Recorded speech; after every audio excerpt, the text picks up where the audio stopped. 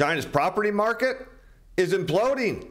I'm your host, Steve Van Metre, and thanks for joining me today. And things with China's real estate market continue to go from bad to worse now as their property developers are outright failing, which is threatening to topple their banking system. Let's head over to Bloomberg where we start today's story out with this headline that you may remember from a prior show as China to offer special loans to troubled property developers, but it didn't work. And China will offer special loans through policy banks to ensure property projects are delivered to buyers, adding to signs of an official support for an industry grappling with a debt crisis and slumping home sales. But did it work? Doesn't look like it because lender now seizes Evergrande's Hong Kong headquarters in a bid, of course, due to cash.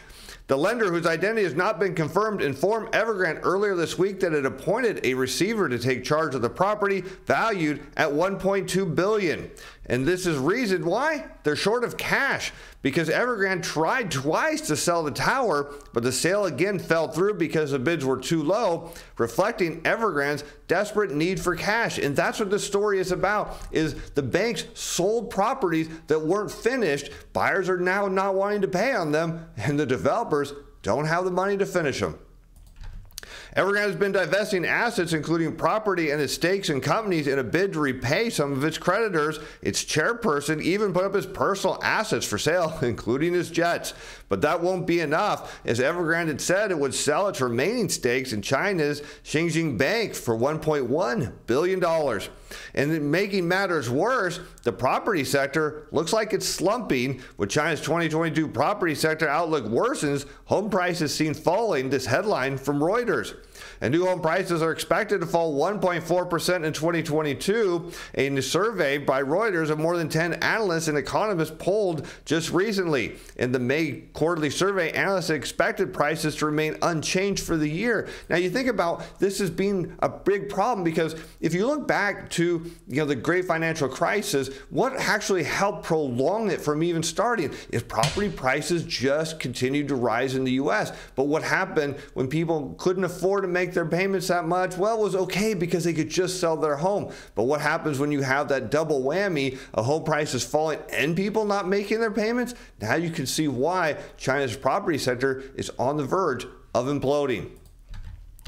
Property sales were also seen slumping a whopping 24.5% in 2022, far bigger drop than the 10% forecast back in May and the property sector, which accounts for about a quarter of China's economy. Now, keep that in mind. It's a huge, huge part of their economy, has lurched from crisis to crisis since the summer of 2020 after regulators stepped in to cut excess leverage, causing some developers to default on their debts and struggle with completing projects, none of which has gotten any better and has now resulted in homebuyers threatening to stop making payments. Now, if there's one thing that shouldn't lurch from recession to recession should China's property market blow up, and that's your portfolio portfolio. I'll put a link up here to Portfolio Shield and in the description below because this isn't just about a cash shortage, which is a big factor here. It's not just about the real estate market. It's not just about the global economy. The real underlying issue is yes, the real estate market can go down, but what if it takes the banks with them? Well, as you're about to see with this headline from the Wall Street Journal, that's coming.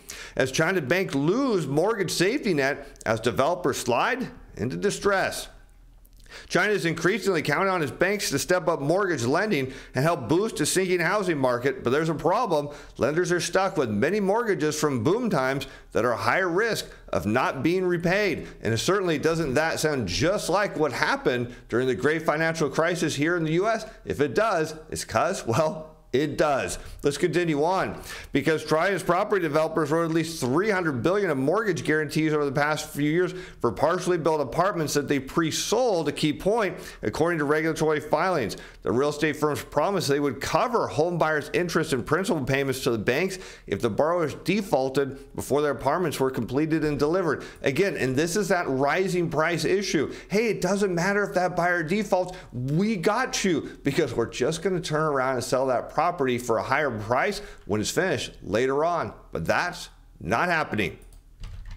What used to be seen as a no lose proposition, again, sounds like the U.S. real estate sector going to the GFC, has now become a drag on Chinese banks. Dozens of real estate firms have slid into financial distress, making their mortgage guarantees far from certain. Many would be homebuyers no longer want to buy unfinished properties, and who can blame them, reducing demand for loans.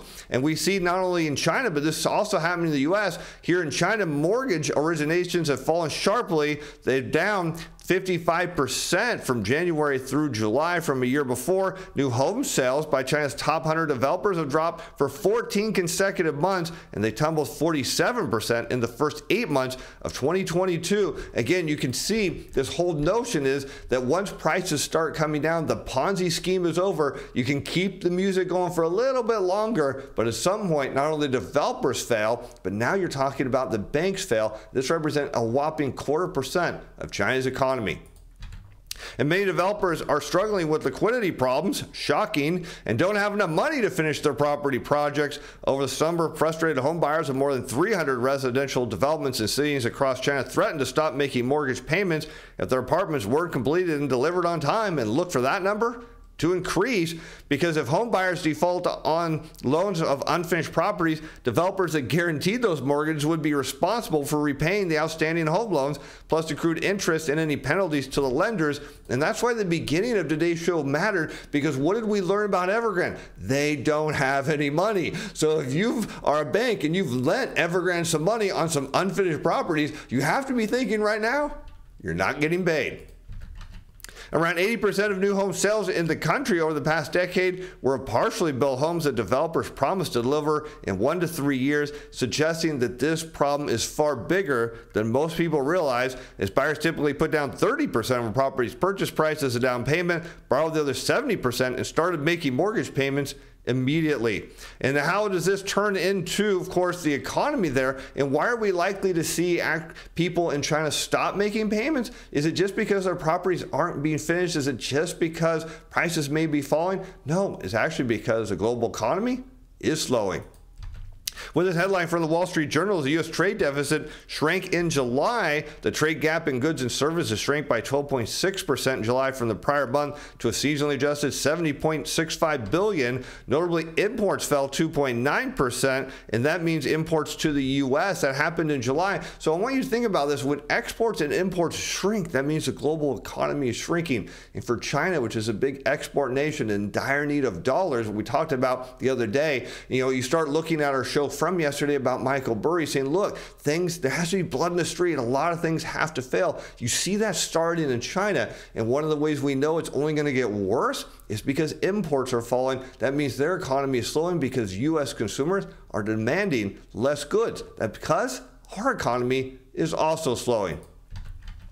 And here we can see perhaps the reason for this has to do with the Federal Reserve. The monetary base now shown in red against the trade deficit shown in blue or trade balance. And notably, the trade deficit started to widen the moment the Fed did QE. And how why did we see that perhaps during the pandemic is because of all that borrowed money, the fiscal stimulus went and bought a lot of overseas goods and services. Now look at what's happening almost within a month of each other or less. We see the Fed's balance sheet start to decline. And what's happening, the trade deficit is actually closing that gap rapidly, indicating that the global economy is slowing. Now, whether or not the Fed has everything to do with this, they're no doubt partially to blame, and they're not going to stop now because they're about to go into their blackout period ahead of their next meeting. And what did we hear today from Fed's Bullard? He leans more strongly to a third 75 basis point rate hike and a sign that the Fed is only going to continue to tighten until things break. But what does this mean for the labor market here in the U.S.? Well, let's turn to our chief strategist, Jeff Snider, who writes in his daily about the recent unemployment claims. Here he notes that the question moving forward is whether the improvement in unemployment filings represents a genuinely improving labor market, nothing more than temporary minor blip, or if this downtrend is a statistical or even real fluctuation is common. He notes that the household survey showed that while employment was up marginally both July and August, the gain was entirely in part-time work as full-time jobs have substantially reduced economy-wide. If firms in the aggregate are content to primarily control labor costs via converting full-time positions to part-time, this does not lead to renewed rise in jobless claims, it might account for the temporary rollover, which suggests that the U.S. economy is also slowing down, and not just the U.S. economy. We're obviously seeing Europe, China, the entire rest of the world. We're all slowing together, and that means we're sowing the seeds of another recession. And if what's happening in China actually gets out of hand, well, now we see the beginnings of the next great financial crisis. I'm your host, Steve Van Metre. Thanks for watching. Thanks for being fans. Bye now.